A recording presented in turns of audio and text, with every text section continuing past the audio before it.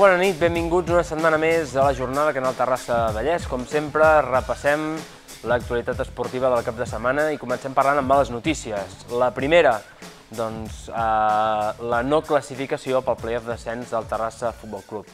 Serà un dels temes que repassarem llargament en el programa d'avui, però hi han d'altres notícies i molt positives també pel que fa al món del futbol, i és la victòria del Sant Cristòbal que s'aferra a aquestes opcions encara de jugar i de pujar de categoria, i també l'empat del Sant Llorenç, que també s'aferra, en, el seu, en aquest cas, per eh, sortir d'aquesta zona perillosa i que lluita per mantenir la categoria. Parlarem de futbol, parlarem també d'hoquei a la divisió d'honor eh, femenina i acabarem parlant de waterpolo. Tot això ho farem amb els nostres companys, amb l'Àngel Cárdenas i amb el Joan Gutiérrez, dels quals ja saludem. Àngel, Joan, bona nit a tots dos. Hola, molt bona nit. Deia això, feia esmena, aquesta és la mala notícia, o una de les males notícies de la jornada, aquesta no classificació del Terrassa per jugar al playoff, ja és definitiu, resta un partit, després de la derrota a casa davant l'Olot, se fini, Àngel.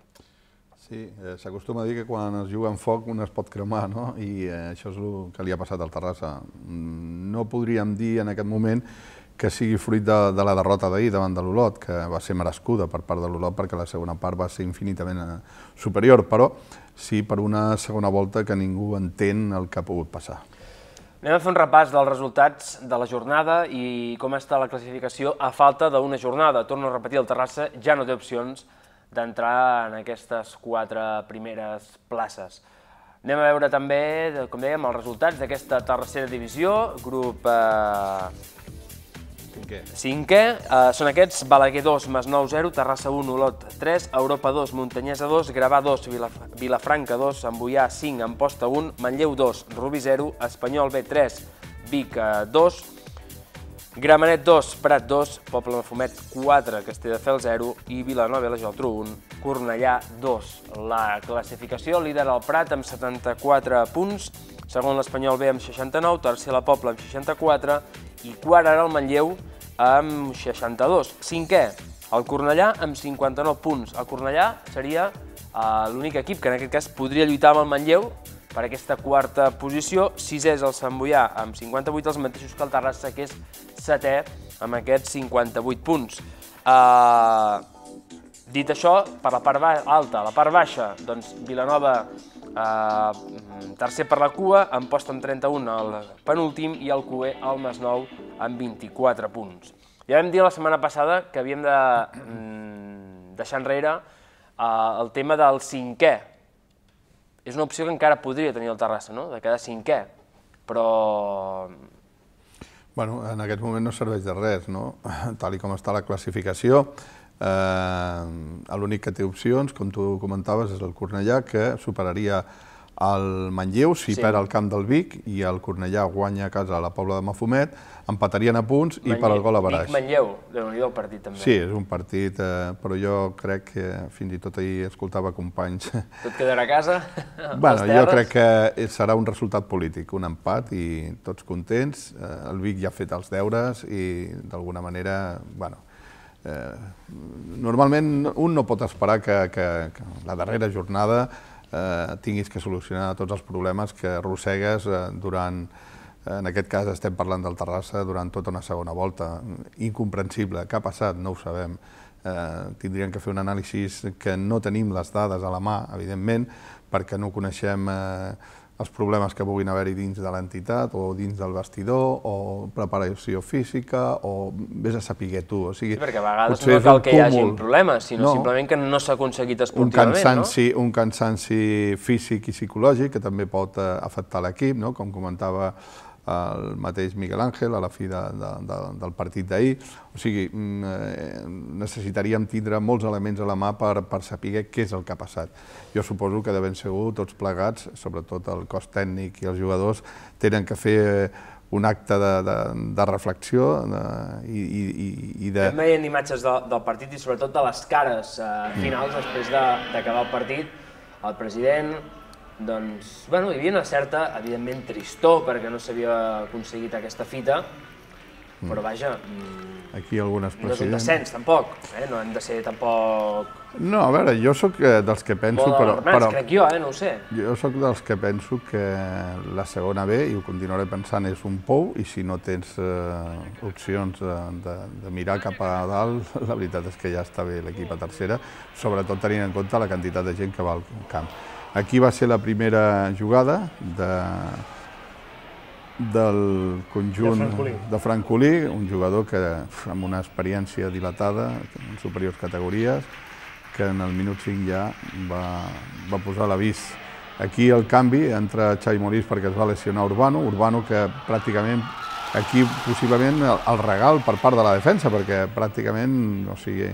Eh, sí, la segona part... Sí, la segona part ja... va... Xuta de Granell al travessó. Sí. I era un avís del que vindria després amb el gos de Raül. Raül Rodríguez, que va fer una magnífica segona part. Uns van amb avió, els altres van amb, sí, amb sí. carretó, eh? Sí, aquí, bueno, una centrada, una rematada, el, bueno, el jugador sol amb la rematada. Bueno, va ser, van ser 8 minuts fatídics, el tercer gol és una altra vegada entrant per banda, i realment en 8 minuts eh, va sentenciar I va haver-hi més, partit. eh? Sí, van haver-hi més, fins i tot es va permetre de fer algun rondo a l'equip eh, visitant a l'Olot perquè el Terrassa semblava que portava ferro a les botes. Tot no és un partit, però aquest és el reflex del Terrassa durant molts partits d'aquesta temporada. Home, Molt fràgil en defensa. A la segona volta, sobretot. I sobretot a la segona volta, falta de gol. Abans es solventava, molt fràgil en defensa, però marcant molts gols. Home, Quan jo... s'han acabat els gols... Home, jo crec que l'equip eh, possiblement ha notat molt, eh, jo per mi, eh? o sigui, és una opinió, vull dir, després, eh, sense desmereixer l'actuació d'uns altres jugadors, però per mi la baixa d'herència s'ha notat molt, molt, molt, molt i molt però defensivament, en quant a encaixar gols, tampoc va ser tan bon la primera volta. Sí, però és que Herència recorda que va ser un últim recurs que el Terrassa utilitzava fins sí, i tot en la part atacant. Cap, eh? Sí, últims minuts. I per altra banda, bueno, jo crec que un jugador important, o que pensaven que seria important aquesta temporada, mmm, pràcticament no l'hem vist, ha sigut Urbano, amb el problema de les lesions, no han tingut l'oportunitat de veure. Després, potser, no sé, l'arribada de, de Miguel Ángel Lozano ha canviat una mica el dibuix, és un home més de caire defensiu, no és un home atacant, eh, possiblement hem, hem, hem perdut aquí una mica d'empenta, no? No vol dir, o sigui, que Miguel Ángel Lozano, pues, eh, dins de les seves possibilitats, ha fet tot el que tenia que fer i ha jugat amb el lloc que li han encomanat i, a més a més, és un jugador torno per sobre de, de la mitjana de l'equip. Eh, exacte, sí, perquè... Sens dubte. Però que no és, és, no és un home gol, o sigui, no és un home que pot aportar gols a l'equip. És que, clar, si no marca Carlos, aquí no marca ningú. Montero, la veritat és que des del partit del Prat va desaparèixer, va fer una actuació bueno, incommensurable, eh, fent els dos gols i després ha desaparegut. I, bueno, i eh, això seria... No, no, no vull assenyalar ningú en concret, o sigui, el que vull dir és que homes importants, en moments eh, importants, han desaparegut. Xavi Molís, la segona volta, és que pràcticament eh, només ens va deixar entreveure el camp d'un equip que ja havia baixat fa 15 dies, que va tornar a aparèixer, però mm, ha tornat a desaparèixer, vull dir, és, és... El que queda clar és que també hi ha un malefici, aquí sí que això podríem anar a bruixes, podríem tirar les cartes i fer moltes coses, però veurem què passa a les segones voltes. Perquè no, no, ja i que el tècnic també s'ha equivocat, el tècnic, el eh? tècnic també s'ha equivocat en plantejaments, en alineacions... El Terrassa surt de la zona de playoff quan falten no, no 8-9 jornades? Sí. Va, va sortir, sí, va tornar a entrar, o, però... O menys, o menys. I, Després sí, torna, va, sortir, estar... torna a entrar... Després ha estat pràcticament tota la temporada, eh? Va, va no, no, és l'equip que ha estat equip. més, més jornades en zona de playoff. Sí. O sigui, és l'equip que ha estat més jornades en zona de playoff. El que passa és que ha sortit en el moment més, més crític i més inoportú, evidentment. Si us sembla, anem a escoltar paraules del tècnic del Terrassa, Miquel Olmo. L'escoltem una bona estona. Va parlar nosaltres hem resumit en 7 minuts el que va dir en 18. déu nhi el que li vau preguntar va ser força clar, estava evidentment decebut, i, bueno, i analitzava algunes coses, tot i que amb calent em dóna la sensació que no no ell, sinó també alguns jugadors, és lògic també molts, es van voler mossegar la llengua. És... Trobar-la és difícil. En primer lloc el que sí m'agradaria és demanar perdó i disculpes a l'afició. Crec que en 10 minuts hem tirat un somni, un somni que hem perseguit durant, durant tot el campionat. L'afició sempre, sempre ens ha donat una resposta òptima, sempre ens ha recolzat, sempre ha estat al costat del, de l'equip i avui, amb una situació de pressió, nosaltres no hem, no hem correspongut. Hem fet una primera volta excepcional, hem fet una segona volta digna d'anàlisis i ara arribarà, arribarà el moment. El cos tècnic us puc garantir que que ha treballat moltíssim, aquest era el compromís, a més amb, amb el Terrassa, amb el seu aficionat, amb la seva gent, treballar i, i esforçar-te per tal de, de fer-ho bé i de prendre les, les, millors, les millors decisions. A més, jo, jo li vaig prometre a una nena que, que retornaria a aquest equip on, on el, vaig, el vaig començar a entrenar i, i em, quedo, em quedo lluny d'aquesta promesa.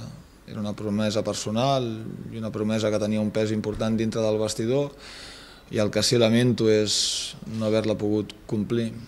Aquell aficionat que s'hagi sentit decebut, demanar-li demanar, -li, disculpes, però amb la garantia de que, de que s'ha treballat, s'ha treballat incansablement, perseguint un somni, eh, amb un inici de campionat molt bo, i quan ara ja no dependia de nosaltres no hem gestionat bé la situació i no hem gestionat bé la pressió. Bueno, perquè realment ha hagut molts moments del, del partit que eh, la situació ens superava i des de fora, des de fora ho veiem així, que teníem que, que, que tirar des, des de la banqueta tots, perquè, perquè dintre del camp ens passava, ens passava la situació, ens passava el marcador, ens passava la responsabilitat i, i no trèiem la millor, la millor versió de, de, de, dels nostres jugadors. D'aquí no? doncs d'aquí aquest, bueno, aquest fet que s'ha viscut avui des de, des de la banqueta intentant transmetre doncs, molta més intensitat, una millor actitud i predisposició al fet de, de, de no enfonsar-te quan encara quedava partit, tot i la dificultat. No, és, no, és evident que, que, que, que, es cobreix, que es cobreix una etapa i, i que es cobreix un, un cicle important. No? Aquest equip d'inici no estava destinat a, a grans fites i, i les ha fet. Les ha fet i ara és difícil trobar una, una explicació com, com ha perdut tantes coses que el va fer ser gran durant l'inici del, del, del campionat, però arribarà el moment, arribarà el moment de veure de, de quina manera se supera aquesta etapa i de quina manera es canvia de cicle. Bueno, ara no vull pensar en el futur, farà que sigui millor pel Terrassa. Eh, sempre s'ha prioritzat el, el Terrassa per damunt absolutament de, de tot i el que sigui millor per, per l'entitat serà el que es decidirà. Tampoc ara és moment de, de, de pensar en el, en el meu futur. Això no és, per mi no és important.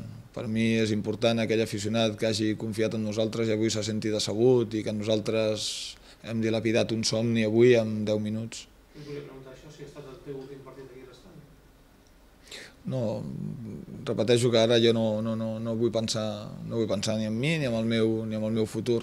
Uh, tinc en ment uh, tinc en ment una nena, tinc en ment una família, tinc en ment molts aficionats, tinc en ment molts missatges que he rebut de, de, de gent esperançada, que somiava, que volia, que, que esperava que, que avui l'equip guanyés i continués viu a la, a la darrera jornada. No? Tinc en ment a, a Pepe Mármol, a Sebas, tinc en ment a gent mítica i històrica d'aquesta entitat que ho ha patit moltíssim i ha treballat colze a colze amb mi. Ara mateix crec que no tinc llicència per pensar en mi. No, bueno, hi ha jugadors que no estan al nivell que tenien que estar. No que tindrien que estar, hi ha jugadors que no estan al nivell de la primera volta.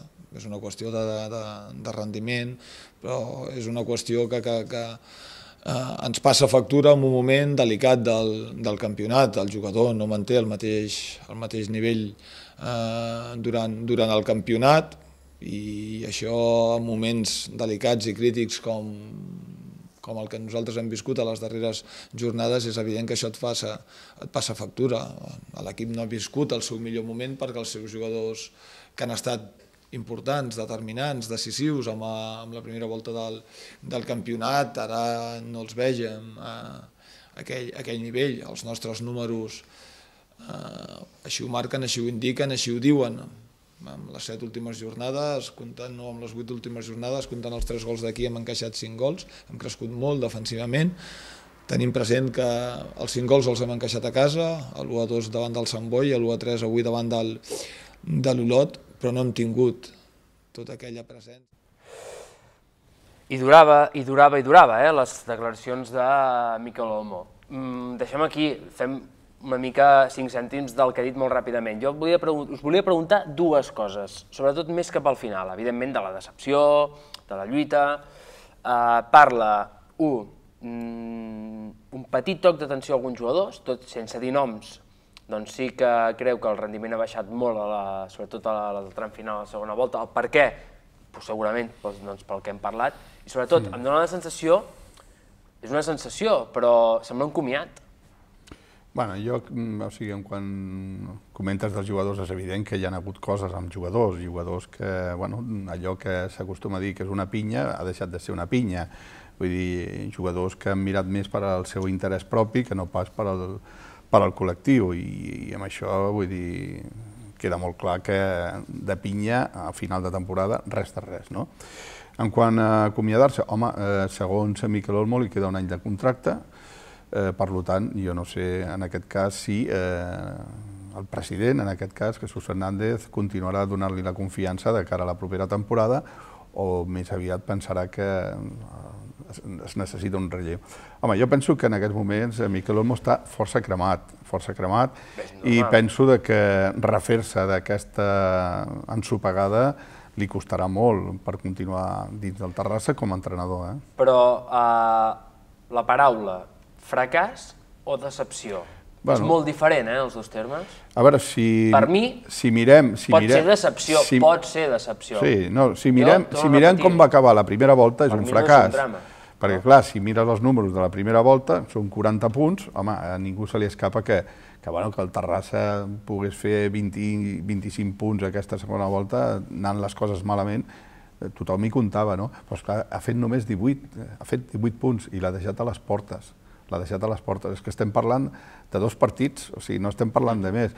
Per tant, jo crec que és un problema que s'ha arrossegat des del començament de la segona volta, psicològic, físic, eh, tot el que vulguis, i després, quan els resultats no són bons, què passa? Que aquesta pinya es va desfent.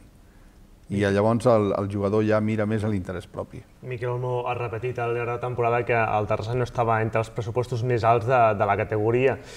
Llavors, mm, potser des del punt de vista de, del vestuari, més que parlar de, de fracàs, potser ha sigut una, una petita decepció, perquè sí, han però estat bueno, allà... Jo amb el tema de pressupost, i perdona Joan, que estic d'acord, perquè sí. si tu tens calés pots eh, fitxar millors jugadors, però tampoc no és, són matemàtiques, perquè el Llevant és l'equip sí que, sí, que, que sí. té menys pressupost de la primera divisió i està a punt de, de jugar a la està Champions. Està clar que estem parlant que ha sigut una sí qüestió, que... ha sigut una qüestió d'actitud, Exactament. Independentment del que En moments determinats ha faltat actitud. No ho sé, aviam què en pensa també. Vam parlar després del partit a Miguel Ángel, el porter del Terrassa, i ens deia això. Sí, sí, sí, la verdad que son partidos que me lo preguntas y no sé decirte la respuesta, la verdad. Yo estoy muy caliente eh, a nivel personal, a nivel, a nivel interno, ¿no? Supongo que mis compañeros están lo mismo con ellos mismos, ¿no? Por lo tanto, no creo que, que ese adjetivo ahora mismo pueda decir nada, pero sí que es verdad que de la, da la sensación. Yo creo que, como comenté de la rueda de prensa, no sé, creo que tiene que ser un tema psicológico de gasolina, ¿no? Que aquello que se acaba ya en la fuerza, ¿no? Yo lo viví en otros años, en otros equipos, y sé que existe eso, que es verdad, ¿no? Que un equipo puede llegar eh, agotado. Porque... Sí, sí, sí, tanto psicológico como, como, físicamente, sí, sí. Una cosa que existe, vamos, puede, cualquier profesional o experto lo puede decir que eso existe, que, que por eso las plantillas eh, son grandes, por eso hay tantas rotaciones en equipos profesionales de alto nivel, precisamente para evitar estas cosas, ¿no? Y, y yo creo que, que bueno, que, a pesar de que, es un club que se ha conseguido lograr la estabilidad, todos los ambientes, ¿no? social, económico, pues una pena ¿no? que lo deportivo no hayamos podido cumplir un poco las expectativas. Para mí hay otros aspectos de la temporada, ¿no? Eh, ya te digo, la estabilidad tanto económica que se ha logrado por parte de la directiva como por parte de, de los socios, ¿no? Ha habido un seguimiento regular más o menos, ¿no? Después de todo lo que se ha pasado, ¿no? En los últimos años vividos y yo creo que las prisas no son buenas. Yo creo que las prisas no son buenas. Se ha hecho un proyecto de fútbol base, y que estamos en la casa lo vemos eso, ¿no? Entonces, pues se ha, ido, se ha involucrando, inculcando un poquito más a la gente de, la ciudad, creo yo, ¿no? Si los números no nos no, engañan, aquí había 800, 700 personas, ¿no? Decían cada vez que venían a vernos en casa, no sé, ¿no? Eh, quiero creer que eso es lo que suma, ¿no? Para el día de mañana poder dar un salto más de calidad y de, y de cantidad. En el fons, comparteixo part del que diu Miguel Ángel, home, eh, no fa tant que s'ha iniciat aquest projecte. Ara bé, com bé deia l'Àngel, mirant la primera volta i comparant la segona, doncs sí que és cert doncs que ha faltat, eh, ha faltat benzina, jo, sí, possiblement, jo, jo crec que el que tu deies, fracàs, més que fracàs, ha sigut una autèntica decepció, no? una decepció perquè l'han tingut a la mà i, i s'ho han deixat perdre. El que no és un fracàs, ni és una decepció, ni res de res, és una il·lusió i pot arribar a ser un miracle, és el que està fent el Sant Cristòbal. Repassem i també el que està fent el Sant Llorenç. També pot ser un miracle si ho aconsegueix. Eh? Anem a repassar resultats i classificació de la tercera divisió grup primer. Són aquests Manresa 2, eh, 0, perdó, Ripollet 2, Premià 1, Guíxols 3, Figueres 4, Lloret 0, Avià 2, Montcada 3, Cerdanyola 1, Sant Llorenç 1, Vilassar 3, Mollet 2, Palamós 2, Paralada 1, Sant Cristóbal 2, Gramenet 0 i Farners 3, Júnior 3. Líder el Figueres amb 69 punts. Segon el Vilassar amb 57, els mateixos que Palamós i Sant Cristóbal, que també en tenen 57 ja per sota de la Sant Cristòbal, imagina't, Cincal Mollet amb 49 punts. I a la part baixa, doncs, el Sant Llorenç, que és 14 amb 35 punts, i els quatre últims, doncs, Paralada amb 34, Premià amb 28, Júnior amb 23 i Manresa amb 21 punts. Vaja, que tant Sant Cristòbal com Sant Llorenç tenen opcions per eh, somiar i per aconseguir aquests miracles. Anem a parlar de la victòria, però, primer del Sant Cristòbal Joan, un Sant Cristòbal que torno a repetir, és que ho té aquí, eh? Ho té aquí i, de fet, ja porta quatre victòries consecutives i aquest eh, diumenge al municipal de Can Anglada doncs, eh, eh, va guanyar 2 a 1 a la Gramenet B. S'ha de dir que el conjunt de Santa Coloma va marcar ja en temps afegit i que el Sant Cristòbal va tenir l'opció de poder sentenciar el partit abans eh, d'hora i tot va, va començar molt bé pel conjunt de Dani Andreu perquè pràcticament en la primera rematada va aconseguir el primer gol, una miqueta amb fortuna. No era aquest el gol, eh? No era aquest. Aquest, aquest, aquest. que bon. Llença la falta a Kevin i toca la barrera, desvia la trajectòria i, i despista el porter com es va ser l'1 a 0, però aquí va tenir eh, Xema l'oportunitat de fer el segon, una pilota tubeta, que va tocar al pal, i veiem aquesta rematada per sobre del travesser de Kevin, també dins l'àrea, que surt eh, per sobre del travesser. Al segon temps, aquí una doble aturada del porter Comas a llançament de Kevin i rematada final d'Estrada que surt doncs, tocant el pal, molt a prop del pal, i més oportunitats eh, pel, en aquest cas per la grama, per eh, la grama nevera, Martí, que llançava el pal, i aquí veiem el segon gol del Sant Cristóbal, l'obra de José Sánchez, que en un embolic dins de l'àrea feia el 2 a 0 al minut 60, i ja en temps afegit, el gol de Martí amb el 2 a 1, però pràcticament no va venir ni temps de, de treure de, de mig del camp. Van fer la de Carrasco, el córner dels jugadors del Sant Cristóbal, els va acabar el partit amb aquest 2 a 1 que deixa tot obert, perquè Vilassar, eh, Palamós i Sant Cristóbal, per aquest ordre, a falta de quatre jornades, estan disputant aquesta plaça de promoció d'ascens, i, i després en parlarem, si vols, de la propera jornada, que serà bastant, bastant calenta. Deia això Dani Andreu, el tècnic del Sant Cristòbal. Cada partit és una final i, i no podem badar. I ara és saber gestionar una mica aquesta angoixa, aquesta ansietat que, que pot crear la situació i, i anar tenint els partits de la millor manera possible. Jo crec que avui no hauríem d'haver patit res perquè hem fet, hem fet el suficient per, per guanyar tranquil·lament però amb tot i això serà la dinàmica de, de, de, de lo que ens queda de Lliga. Ara cada partit, ja et dic, serà una, la sensació de, de no equivocar-te i aquesta sensació, doncs, eh, en certa manera et frena, et frena i, i et responsabilitza doncs, de la forma que, que, que, que, que, que toca ara, no? que ara el, que, el primer que falli doncs, jo, jo no crec que arribi. Bé, i d'altra banda, parlar també de l'empat del eh, Sant Llorenç, un bon empat al camp del Cerdanyola, que, home, doncs... En gol de Ferraro. En gol de Ferraro. Diu que un golàs, perquè he pogut llegir algunes cròniques. Ha, ha aterrat i ha marcat ja dos gols. La propera jornada, propera jornada atenció, què? com està això? es poden donar un favor mutu Sant Cristóbal al Sant Llorenç. El Sant Cristóbal juga al camp del Paralada, que és rival del Sant Llorenç en la lluita per la permanència. El Sant Llorenç, Sant Llorenç rep el Vilassar, que és rival del Sant Cristóbal en la lluita per la promoció. I hi ha un interessant Mollet Palamós, en funció del que pugui passar en aquest partit, Jornada interessant. Poden, poden canviar moltes coses. Jornada força interessant, que pot canviar el panorama de, Vaja. de la classificació. Que és la mm, avant jornada després del derbi.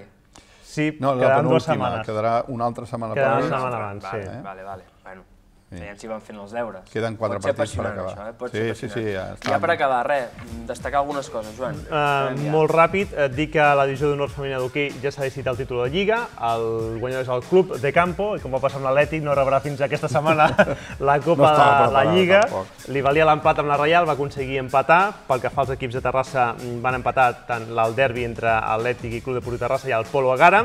I aquí l'interès que hi ha en aquesta última jornada és saber qui acabarà segon a la Lliga, si Egara o Reial Societat, perquè el segon podria tenir bitllet per la EAQ, la femenina, per Europa l'any que ve, sempre i quan el Club de Campo sigui el campió de la Copa de la Reina. Sempre i quan el Club de Campo sigui campió de la Copa de la Reina.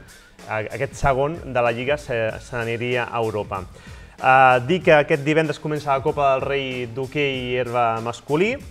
La Copa del Rei és a Pozuelo, els emparellaments de quarts de finals Club de Campo, Complutense, Tenis Atlètic, Terrassa, Pozuelo i Egara Polo. Anem a veure si l'Atlètic, l'Egara o el Terrassa té les opcions de sumar aquest títol. I per acabar, en waterpolo, victòries de l'equip femení del Natació Terrassa a la piscina de la Latina, 5 a 13, i també del masculí, 6 a 12 a la piscina del Sant Andreu. No res més, gràcies Joan, gràcies Àngel. Fins la propera, la setmana que ve més i millor, aquí en el Terrassa Vallès, a la jornada. Bona nit.